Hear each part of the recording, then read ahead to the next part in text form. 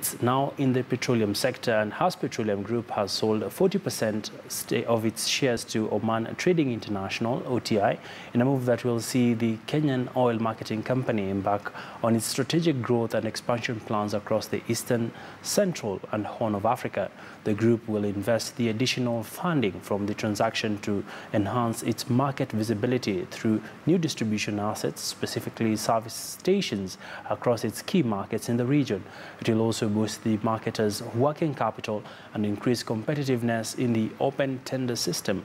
In turn, OTI will improve its supply and trading capabilities to strengthen the Hass service offering, enhance services to consumers, and contribute to economic growth across the region. The Hass founder and management team will continue to operate the business and work closely with OTI to grow and continue longer relationships with customers, suppliers and regulators.